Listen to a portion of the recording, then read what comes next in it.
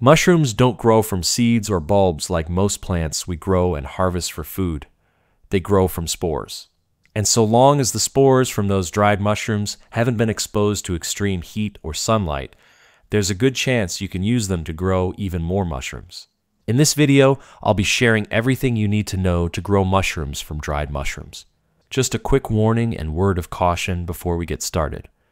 Many mushrooms are poisonous. Never grow or consume mushrooms you are unsure of their origin or variety. Now that we have that out of the way, let's get started. Three factors that determine success when using dried mushrooms. Growing mushrooms from dried mushrooms isn't the most common practice, but it is one carried about by many mushroom lovers every year. The following factors are among the most important if you want to have a successful crop of mushrooms from the spores of dried mushrooms. 1. Type of mushroom. The type of mushroom that you use when growing mushrooms from dried mushrooms is crucial as not all species are suitable. Once dried out, certain species of mushrooms don't rehydrate as well as others. Likewise, some types of mushrooms are more fragile than others and are less heat resistant, meaning their spores are destroyed when exposed to lower temperatures than other mushrooms. 2. Dehydration method. The dehydration method that you use for growing mushrooms from dried specimens is also extremely important. For example, if you dry your mushrooms in the open air and sunlight, the heat from the sun may be enough to kill the spores. Likewise, dehydrators may expose the mushroom spores to excessive temperatures that their spores can't survive. The best method for dehydrating mushrooms that you plan to use for growing fresh specimens is air drying them at room temperature. A tabletop or shelf is the perfect location. A windowsill with indirect sunlight works well. Just make sure to flip the mushrooms from side to side as needed to help the natural drying process along. 3. How long the mushrooms have been dried. Mushroom spores last for years, right? Well, technically, yes, they do, but that's when they're in the ground as nature intended. If you want to use your dried mushrooms for growing batches of new ones, they need to be used within 12 months of drying and storing them. Waiting longer than a year to rehydrate or take spore prints from dried mushrooms is a gamble. How to grow mushrooms from dried mushrooms. Before getting started, keep in mind that you need clean tools and a sterile workspace when dealing with mushrooms. 1. Rehydrate mushrooms. The first step to growing mushrooms from dried mushrooms is to rehydrate them.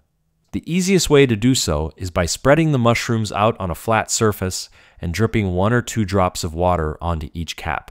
Using an eyedropper is highly suggested as it doesn't take more than an extra drop or two of water to potentially ruin or wash away precious spores. 2. Collect spores. Once your mushrooms are rehydrated, carefully remove the caps from the stems. Take the cap of the mushroom and place it on a sheet of paper. You can trim them down into small squares before or after making the spore prints. Either fold the paper over, sandwiching the cap, or add a second sheet of paper on top of the mushroom cap. Place a book with a bit of weight or something similar directly on top of the cap. Wait 24 to 48 hours and remove the weight. Your paper will now have a fresh spore print ready for use. 3. Add spores to growing medium. The next step is really a couple of steps in one. First, you need to set up a proper growing medium, and then you need to inject spores into it. You may do so by using a growing tray or fruiting chamber that measures several inches deep, at least 4 to 6 inches, and 12 inches by 12 inches in size or larger.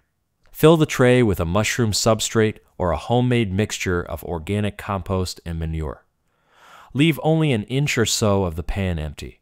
Directly on the top of the growing medium, spread the spore from the spore print.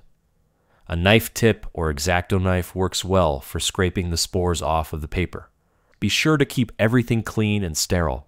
Otherwise, mold and other bacteria may pop up instead of or with your new mushrooms. Also, keep the growing medium moist at all times. If it dries out, the entire process grinds to a halt. 4. Incubate spores. If you followed the instructions above, the next step is upkeeping the future colony of mushrooms while the spores incubate. Simply keep things moist and the temperature at around 70 degrees Fahrenheit. The combination of water, nutrients from the growing medium, and warm temperatures are the magic recipe for mushroom growth. After the first three weeks or so, the temperature should be reduced to approximately 55 to 60 degrees Fahrenheit and left there for the rest of the operation. When you lower the temperature, you also need to cover the mushroom mycelium with soil, just fill the empty inch or so of space you left. Once covered with soil, the silky white mycelium should begin to produce tiny pin like mushrooms. Three or four weeks later, those little pins are fully developed mushrooms ready to pick and devour, dehydrate, or do whatever else you might have planned for them. If you found this content valuable, don't forget to like, share, and subscribe for more plant care tips and growing information.